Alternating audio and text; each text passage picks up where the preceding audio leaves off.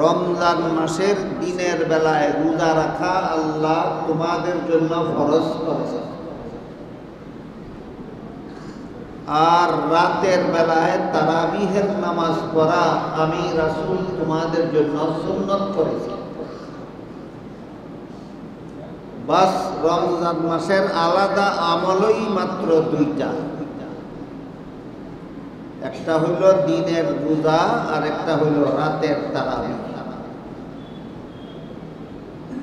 দিনের বেলায় রোজা রাখা আল্লাহর ফরজ, রাতের বেলায় তারাবিহের নামাজ পড়া রাসুলের সুন্নত। রাসুল বলেন, এই দিনের বেলার রোজা এবং রাতের বেলার তারাবিহের নামাজ এই দুইটা আমল যে সমস্ত মুসলমানেরা করে। এরা যদি এখলাসের সাথে সহিনিয়তে করে। কোন মুমিন মুসলমান যদি সহিনিয়তে রোজা রাখে এবং তারাবিহের নামাজ পড়ে, তাহলে এর মাধ্যমে আল্লাহ ফাকরাবুল আলমিন তার জীবনের সমস্ত গুণা মাফ করে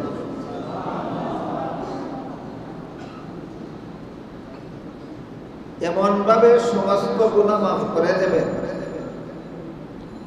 যেভাবে কোনো সন্তান নূতন জন্মগ্রহণ করার সময় সম্পূর্ণ বেগুনা অবস্থায় জন্মগ্রহণ করে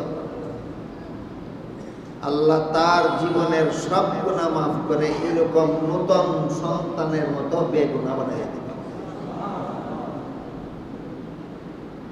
তবে গুনার প্রকার আছে এবং বিভিন্ন প্রকারের গুণা মাফের বিভিন্ন পদ্ধতি আছে। গুণা যে সমস্ত কাজ করলে যে সমস্ত কাজ আল্লাহ নিষেধ করেছেন, আল্লাহর পক্ষ থেকে যে সমস্ত কাজ করতে নিষেধ করা হয়েছে, এই নিষিদ্ধ কাজগুলি করলে গুণা হয়। অথবা যে সমস্ত কাজ আল্লাহর পছন্দসই নয়, আল্লাহর অপছন্দের কাজ করলে গুণা হয়। গুণাকে দুই ভাগে ভাগ করা হয়েছে গুণা দুই প্রকার। এক প্রকার গুণাকে সগিরা গুণা বলা হয়, আর এক প্রকার গুণাকে কবিরা গুণা বলা বাংলায় বলা যেতে পারে সাধারণ গুণা এবং মারাত্মক গুণা। সগিরা গুণা বা সাধারণ গুণা কাকে বলে?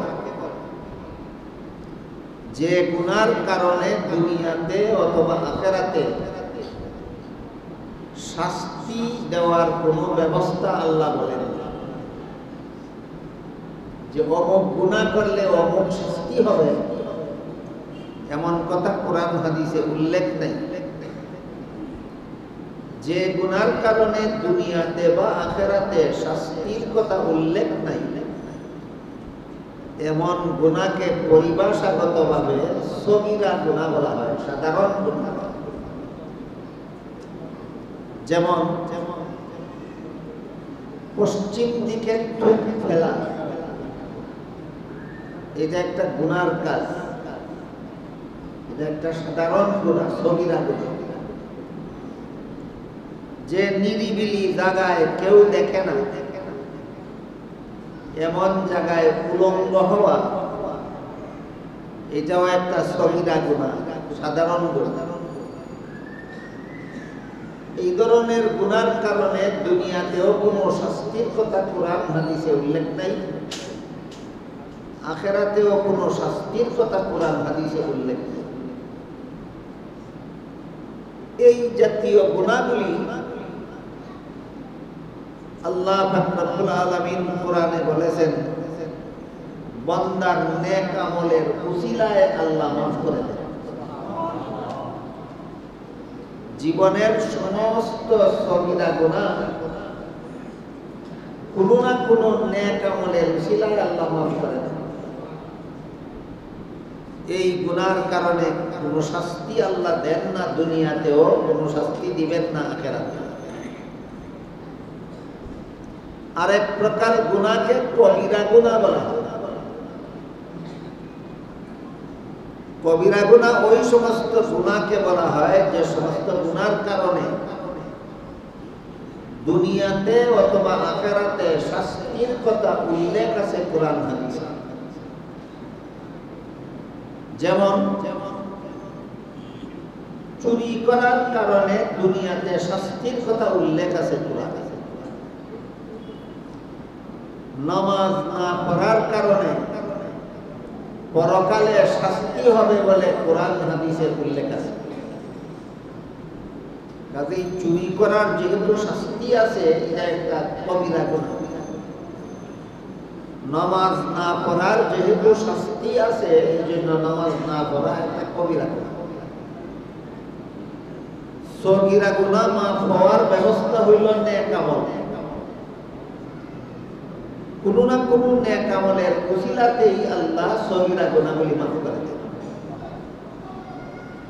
আর কবিরা গুণা মাফের প্রধান ব্যবস্থা হলো তওবা করা। তওবা না করলে কবিরা গুণা মাফ আমরা পরবর্তী কথাগুলি বোঝার জন্য মনে রাখি সগিরা গুণা নেক আমলের দ্বারাই মাফ হয়ে যায়, আর কবিরা গুণা তওবার দ্বারা হয়।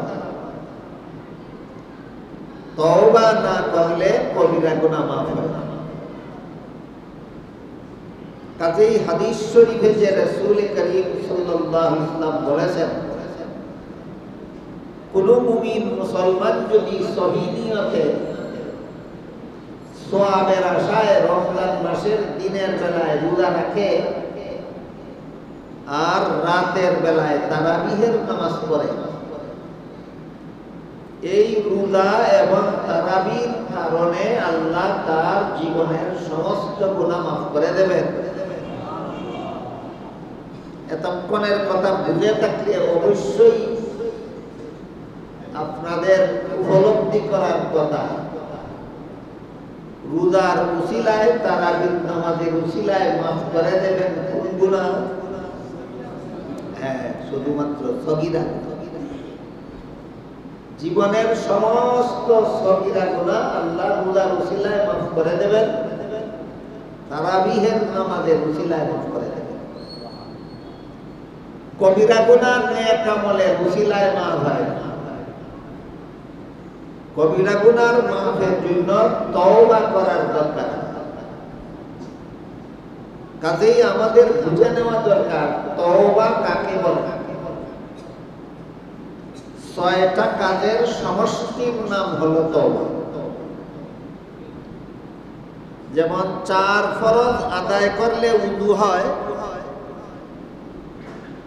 চার ফরজ আদায় না করলে উদু হয় না। তেমনি ভাবে ছয় কাজ করলে তওবা হয়, ছয় কাজ না করলে তওবা হয়। বুঝে থাকতে বলেন তো, কত কাজের দ্বারা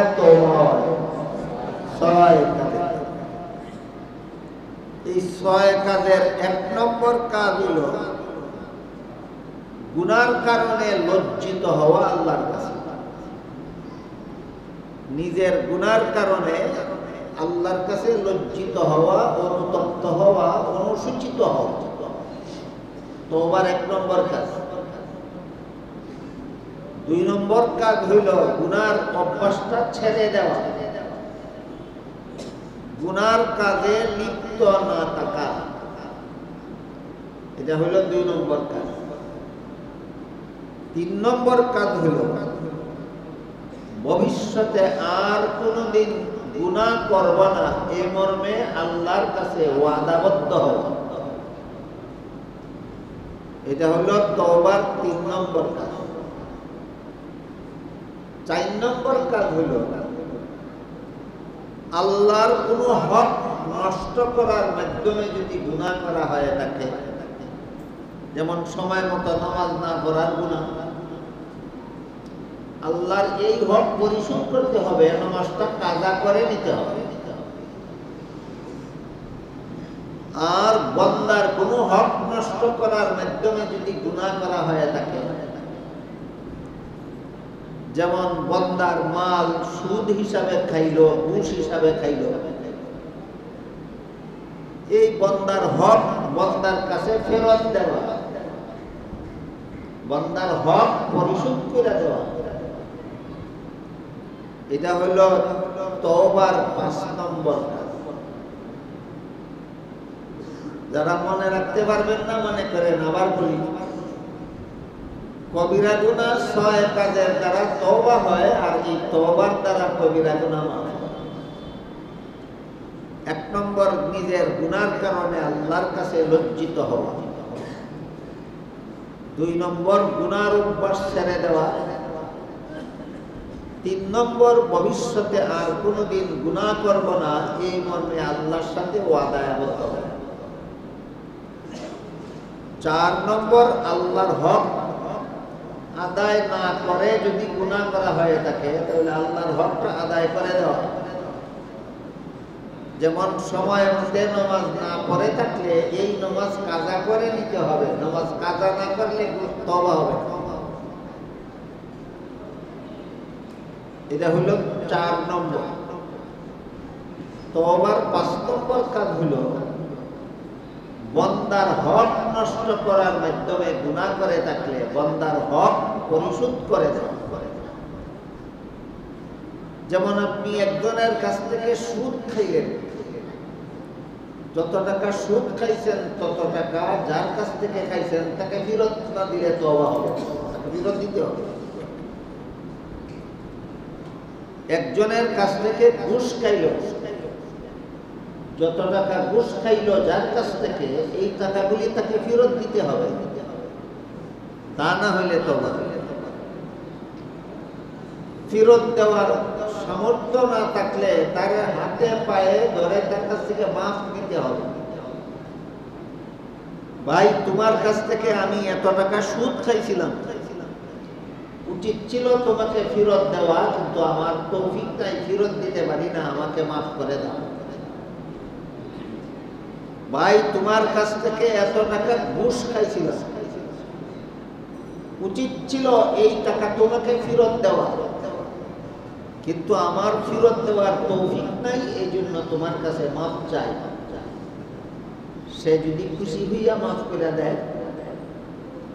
তাইলে পাঁচ নম্বর কাজ হইল তওবা। আর ছয় নম্বর কাজ হইল আল্লাহর কাছে কাকুতি মিনতি করে। কান্নাকাটি করে। কান্না না আসলে কান্নার ভঙ্গি ধরে আল্লাহর কাছে মাফ চাওয়া। এই ছয় কাজ করলে আল্লাহ জীবনের সমস্ত কবিরা গুণাও মাফ করে এটাই হলো মুত্তাকি হওয়ার, পরহেজগার হওয়ার একমাত্র পথ। যারা যথারীতি এই বর্ণনা অনুপাতে তওবা করে, যারা আল্লাহর কাছ থেকে জীবনের সমস্ত কবিরা গুণা মাফ করাইয়া নিতে পারে, তাদেরকেই আল্লাহর ভাষায় মুত্তাকি বলা হয়। আমাদের ভাষায় পরহেজগার বলা হয়। খুদা বলা হয়, আল্লাহওয়ালা বলা হয়। আল্লাহ বলেন, রোজা তোমাদের জন্য ফরজ করা হয়েছে যেন তোমরা রোজার মাধ্যমে মুত্তাকি হতে পারো। এর দ্বারা পরিষ্কার হয়ে গেল যে রোজা শুধু দিনের বেলায় খানা পিনা না করে থাকার নাম নয় রোজা শুধু দিনের বেলায় স্বামী স্ত্রী মিলামিশা না করার নাম নয়। কিতাবাদিতে লেখা আছে হুয়াল ইমসাকু আনিল আকলি ওয়াশ-শুরবি ওয়াল জিমা খানা পিনা দিনের বেলায় না করে থাকা, স্বামী স্ত্রী মিলামিশা না করে দিনের বেলায় থাকা আল্লাহর হুকুম পালনের উদ্দেশ্যে। এটাকে যে রুদা বলা হয়, এটা রুদার রুদার দেহ, রুদার প্রাণ নয়। একটা হইল রুদার দেহ আর একটা হইল রুদার প্রাণ।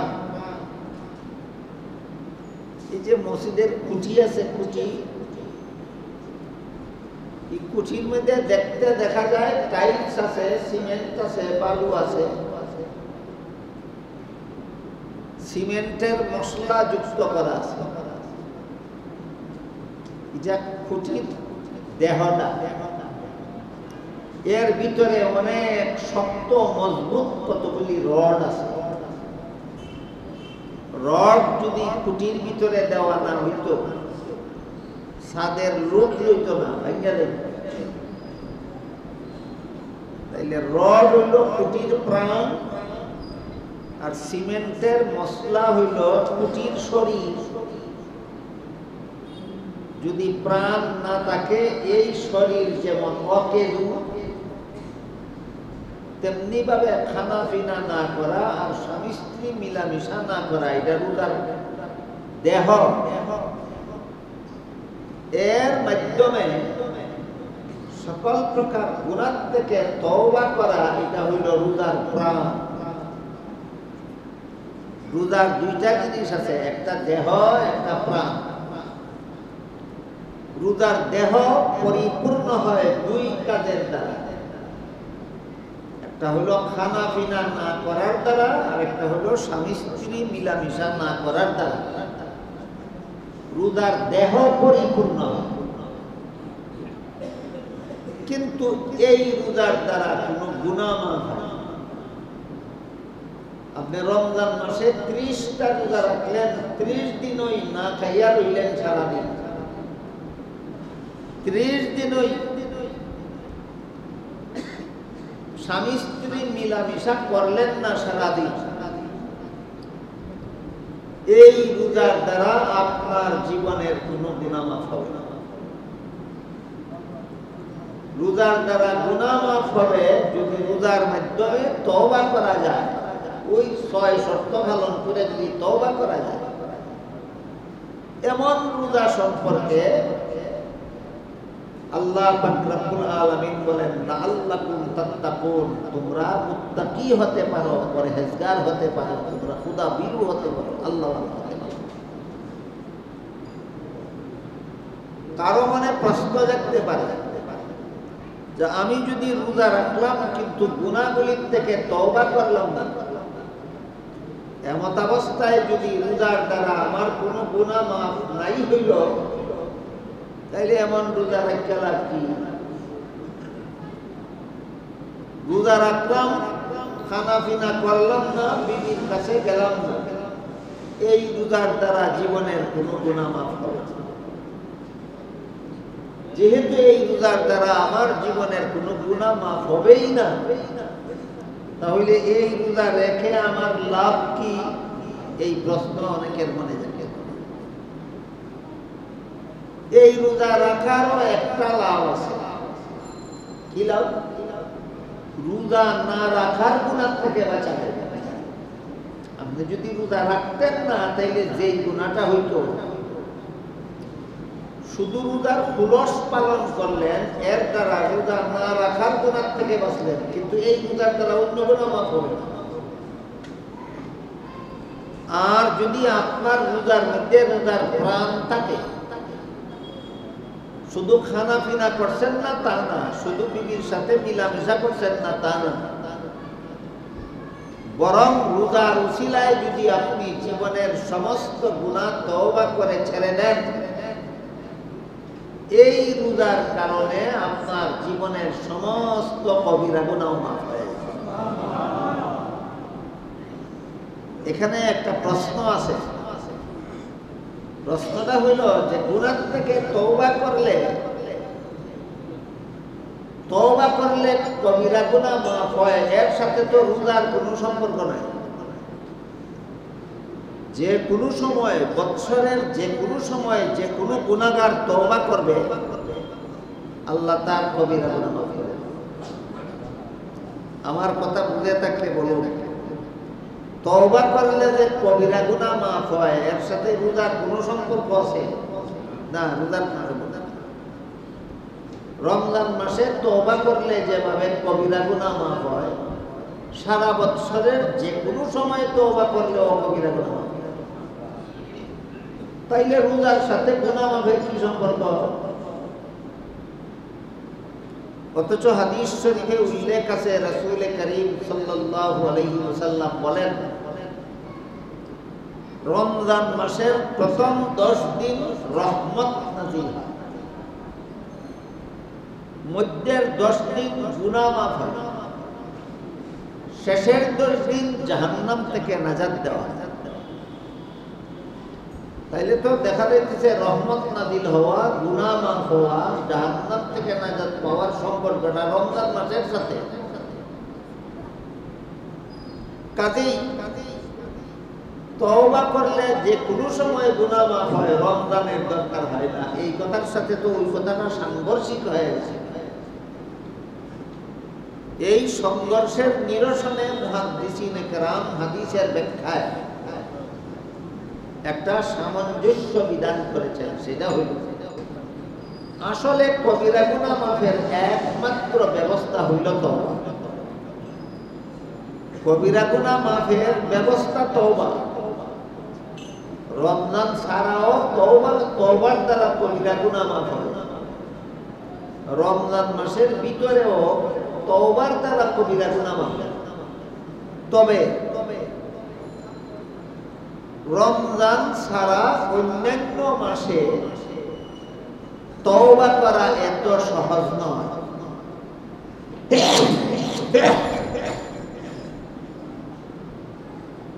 রমজান মাসে তওবা করা যত সহজ, অন্য মাসে তওবা করা এত সহজ। এই জন্য রহমত নাদিলের সম্পর্ক আল্লাহ রসুল রমজান মাসের সাথে করছেন গুনামাবের সম্পর্ক রমজান মাসের সাথে করছেন। জাহান্নাম থেকে নাজাতের সম্পর্ক করছেন আল্লাহ রসুল রমজান মাসের সাথে।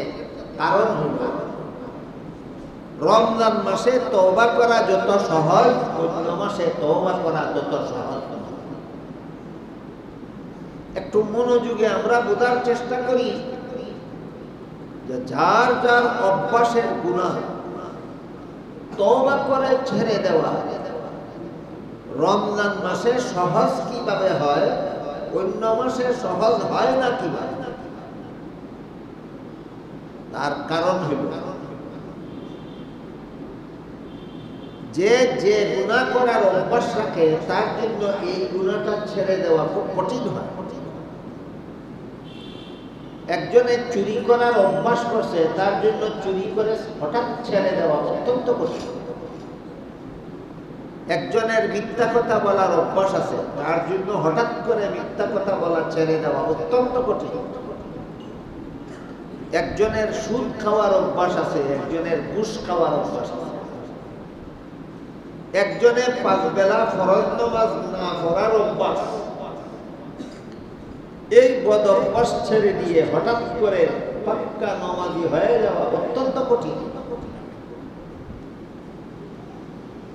এই সমস্ত কবিরা গুণা অভ্যাস, যার যে কবিরা গুণা করার অভ্যাস আছে, তার জন্য এই গুণাটা হঠাৎ ছেড়ে দেওয়া সহজ খুব কঠিন।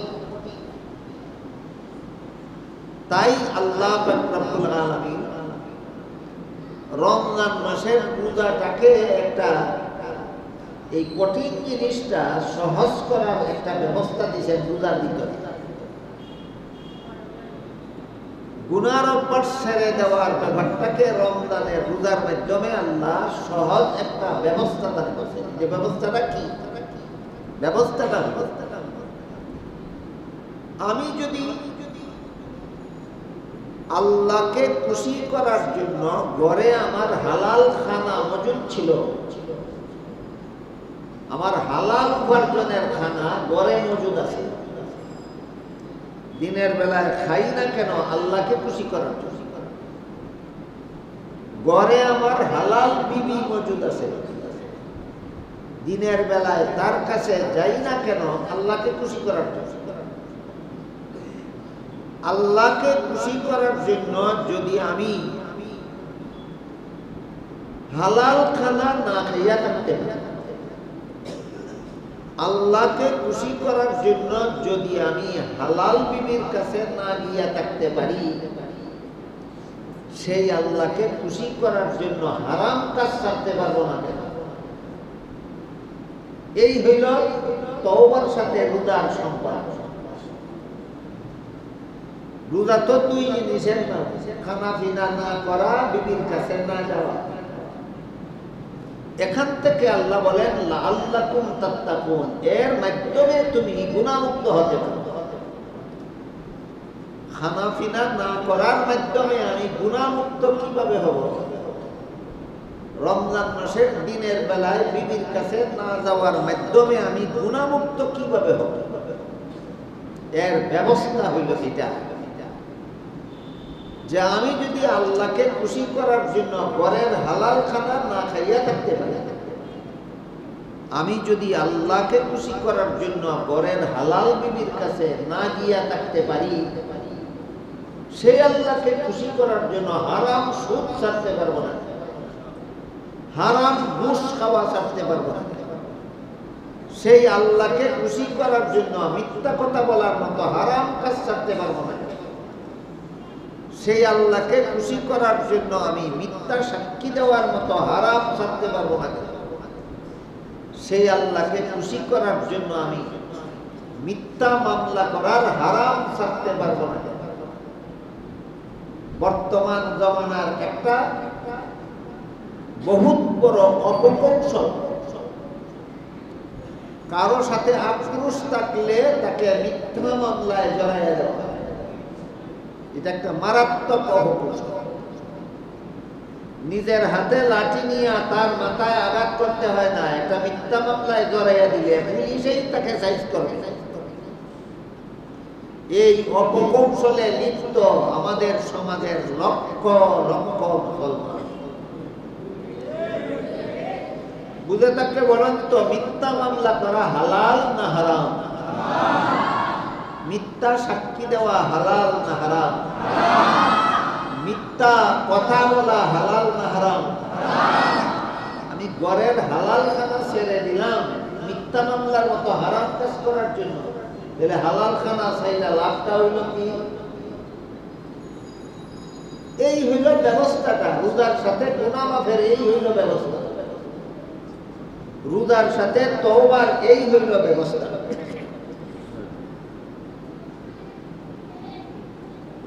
আমি নিজের মনকে নিজে জিজ্ঞাসা করব। আমি নিজে মনে মনে গবেষণা করব। হালাল খানা সাইরা দিলাম আল্লাহরে খুশি করার জন্য। আমি যদি মিথ্যা মামলা করার মতো হারামে লিপ্তই রইলাম,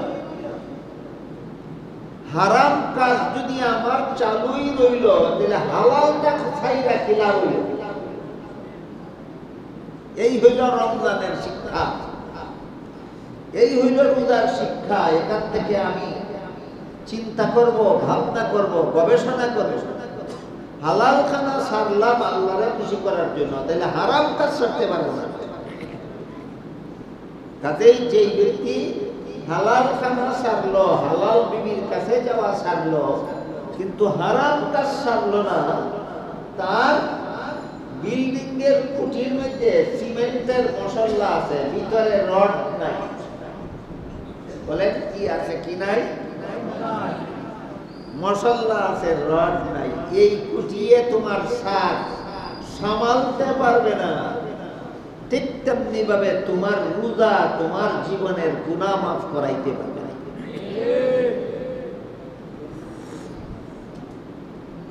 কাজেই এই কাজটা সব মানুষে একসাথে করতে পারে না। আমি যদি হালাল খানা ছাড়তে পারলাম তাহলে হারাম কাজ ছাড়তে পারব না কেন? এই যে একটা গবেষণা। এই গবেষণা তো বেশিরভাগ রোজাদারে করেই না। আর কিছু মানুষে এই গবেষণাটা করে। আমি যদি হালাল খানা না খাইয়া থাকতে পারলাম তাহলে হারাম কাজ ছাড়তে পারব না কেন?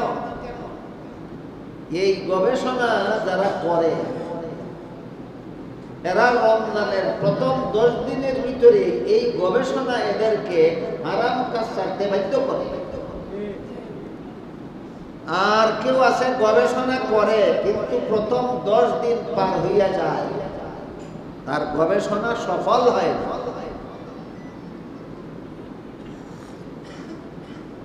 প্রথম দশ দিনের ভিতরে যারা এই কথা চিন্তা করে, সকল প্রকার গুনার কাজ ছেড়ে দিল। যে আমি হালাল খানা ছাড়তে পারলাম, গুনার কাজ ছাড়তে পারব না কেন? এই চিন্তা করে, এই বিবেকের তারণায় প্রথম দশ দিনের ভিতরেই যারা তওবা করে, সমস্ত গুনার অভ্যাস ছেড়ে দেয়, তাদের জন্য আল্লাহ রসুল বলেন, রমজানের প্রথম দশ দিনেই এদের জন্য রহমত নাদিন শুরু হয়ে যায়। এবার বলেন তো, সর্বলোকের জন্যই প্রথম দশ দিন রহমত? না তৌবাকারীদের জন্য। তওবা করে ছেড়ে দেওয়ার জন্য আল্লাহ পাক আলামিন তিনটা স্তর সাব্যস্ত করে রমজানের প্রথম দশ দিনে যদি তওবা করে গুনাহ ছেড়ে দিতে পারো, তাহলে তোমার জন্য রমজানের প্রথম থেকেই রহমত নাজিল শুরু হয়। প্রথম দশ দিনে যারা পারল না তাদের জন্য আল্লাহর পক্ষ থেকে দ্বিতীয় সুযোগ দেওয়া হয়েছে। তুমি মধ্যের দশ দিনেও যদি গুণার অভ্যাসটা ছেড়ে দিতে পারো, তওবা করতে পারো। তাইলে মধ্যের দশ দিনেও তোমার জীবনের গুণা মাফ করে দেওয়া মধ্যের দশ দিনেও যদি কেউ নিজের অভ্যাসের গুণা ছাড়তে পারে না, তাদের জন্য শেষ সুযোগ আল্লাহর পক্ষ থেকে দেওয়া হয়েছে। রমজানের শেষ দশকেও যদি তোমার অভ্যাসের গুণা তওবা করে ছেড়ে দিতে পারো, তোমাকেও আল্লাহ জাহান্নাম থেকে নাজাদ দান করে দিতে এবার বলেন তো, রোজার সাথে তওবার সম্পর্ক আছে না? তওবা হয় গুনাহ গুনার অভ্যাস ছেড়ে দিলে আর রোজা হয় হালাল খানা ছেড়ে দিলে। হালাল খানা না খাইয়া থাকার নাম রোজা হালাল বিবির কাছে না গিয়া থাকার নাম রোজা এখান থেকে আমার শিক্ষা নিতে হবে, আমি যদি আল্লাহকে খুশি করার জন্য হালাল খানা না, হালাল খানা বাদ দিলাম, হালাল বিবির কাছে যাওয়া বাদ দিলাম, তাহলে আমি হারামটা ছাড়তে পারব না। এইভাবে যারা প্রথম দশ দিনের ভিতরেই নিজেকে নিজে বাধ্য করতে পারে সকল প্রকার হারাম কাজ থেকে তওবা করা, তাদের জন্য রমজানের প্রথম দশ দিন থেকেই রহমত নাজিল শুরু হয়ে যায়। মধ্যের দশ দিনে যদি তওবা করতে পারে, মধ্যের দশ দিনেই জীবনের গুণা মাফ হয়ে যায় শেষের দশ দিনে যদি তওবা করতে পারে, শেষের দশ দিনে জীবনের সব গুণা মাফ হয়ে যায়। আর গুণা মাফ হয়ে যাওয়ার মানেই হলো জাহান্নাম থেকে মুক্ত করে দেওয়া।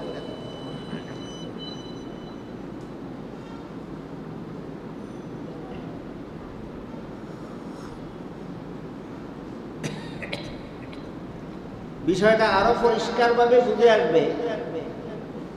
ঈদের দিন সম্পর্কে একটা হাদিস থেকে হাদিস শরীফে উল্লেখ আছে, রসুল করিম সাল্লাহ ইসলাম বলেন, পূর্ণ রমজান মাস ঠিক মতো রোজা রাখার পরে যারা ঈদের দিন সকালে ঈদগার মাঠে যায় তাদের ব্যাপারে আল্লাহ ফিরিস্তাদেরকে জিজ্ঞাসা করেন, ও ফিরিস্তারা, আমার এই সমস্ত বান্দারা আজকে ঈদগার মাঠে আসলো কেন? আল্লাহর কি জানা নাই কেন আসলো? আল্লাহর জানা আছে। পুরস্কারটা ঘোষণা দেওয়ার জন্য আল্লাহ ফিরিস্তাদের জিজ্ঞাসা করে ও ফিরিস্তারা, এরা আজকে ঈদগার মাঠে আসলো কেন? ফিরিস্তারা বলেন, আল্লাহ, এদেরকে আপনি রমজান মাসে একটা ডিউটি দিয়েছিলেন। ডিউটিটা পালন করে আজকে ঈদগার মাঠে আসছে। এই ডিউটি পালনের বেতন নেওয়ার জন্য। রমজান মাসে একটা ডিউটি দিয়েছিলেন, এটা পালন করে আজকে ঈদগার মাঠে আসছে, বেতন নিত বেতন। আল্লাহ তখন ফিরিস্তাদের জিজ্ঞাসা করেন, তোমরা বলো তো এদেরকে কি বেতন দেওয়া যায়? তখন ফিরিস্তারা বলেন, আমরা তো মনে করি, ডিউটিটা যারা ঠিক মতে পালন করে আসলো, এদের বেতনটা পুরাপুরি দেওয়া দরকার। আমার এতক্ষণের কথা বুঝে থাকলে বলুন, রমজান মাসের ডিউটিটা পুরাপুরি ভাবে পালন হয়, শুধু না খাইয়া থাকলে। না সকল গুণার থেকে তবা করে। হ্যাঁ সকল প্রকার গুণার থেকে তবা ফিরিস্তারা যখন বলেন যে, আমরা তো মনে করি ডিউটিটা যারা ঠিক মতে পালন করে আসছে, এদের বেতনটা পুরাপুরি দেওয়া দরকার। তখন আল্লাহ ফিরিস্তাদেরকে বলেন, তোমরা সাক্ষী থাকো। আমার দেওয়া ডিউটিটা যারা ঠিক মতে পালন করে, ঈদগার মাঠে আসলো, আমি এদের সারা জীবনের সব গুণামাফ করে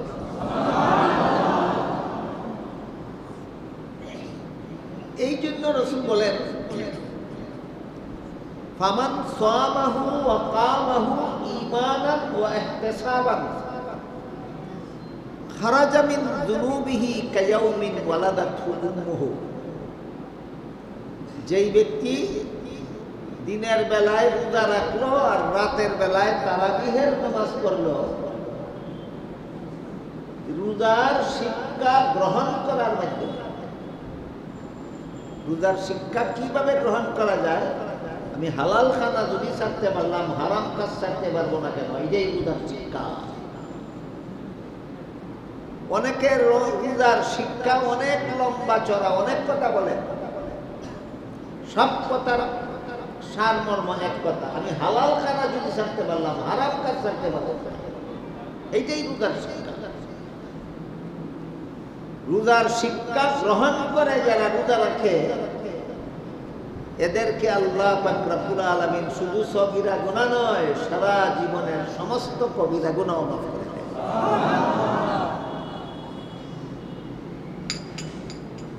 সুতরাং রোজা রাখা হইল গুণামুক্ত হওয়ার একটা সহজ ব্যবস্থা। ব্যবস্থাটা এটাই যে আমি হালাল খানা যদি ছাড়তে পারি, তাহলে হারাম কাজ ছাড়তে পারব না। এই কারণে আমরা যদি রোজার দ্বারা জীবনের সগিরা, কবিরা সব গুণা, সারা জীবনের সব গুণা যদি মাফ করাইতে চাই তাহলে শুধু খাওয়া দাওয়া সারলে হবে না আরাম কাজও থাকতে হবে খাওয়া দাওয়া সারলে শরীরের রোজার পুলস হবে, শরীর হবে, দেহ আর এর মাধ্যমে রোজার শিক্ষা গ্রহণ করে। সকল প্রকার হারাম কাজ ছেড়ে দিলে হবে রোজার প্রাণ। না খাইয়া থাকা রোজার দেহ আর গুণা সাইরা দেওয়া রোজার প্রাণ। রোজার দেহ এবং প্রাণ উভয়টা যদি আমাদের হাসিল হয়, প্রথম দশ দিনে হাসিল হইলে প্রথম দশ দিনেই আমার জন্য রহমত। মধ্যের দশ দিনে হাসিল হইলে মধ্যের দশ দিনই আমার জন্য ফিরাত শেষের দশ দিনে হাসিল হইলে শেষের দশ দিনই আমার জন্য জাহান্নাম থেকে না যায় এই অপূর্ব সুযোগ আল্লাহর পক্ষ থেকে দেওয়ার পরও আমরা অনেকেই রমজানের প্রথম দশ দিন পার হইয়া যায়, কিন্তু অভ্যাসের গুণা সারি না। রমজানের মধ্যের দশ দিন পার হইয়া যায়, কিন্তু অভ্যাসের গুণা সারি না। রমজানের শেষের দশ দিন পার হইয়া যায়, কিন্তু অভ্যাসের গুণা সারি না। যারা রোজা রাখে, কিন্তু অভ্যাসের যে গুণার অভ্যাস আছে, এই অভ্যাসের গুণা সারে না। এদের ব্যাপারে হাদিস শরীফে আল্লাহর আল্লাহ রসুল সাল্লাম বলেন, এদের রোজার ফলাফল বুক পিয়াসের কষ্ট সহ্য করা ছাড়া আর কোন উল্লেখযোগ্য সুফল নাই। সারাদিন না খাইয়া রইছ, কষ্ট করছ, এটাই তোমার রোজার ফল। সারাদিন পিয়াস, পানির পিয়াসে কষ্ট করছ, পানি পান করছ না, এটাই তোমার রোজার ফল। কোন রোজার? যে রোজার পুরস আছে প্রাণ নাই, এই রোজার। আর যে রোজার পুলসের সাথে রোজার প্রাণও আছে, এমন রোজার ফলাফল বর্ণনা করে রসুল বলেন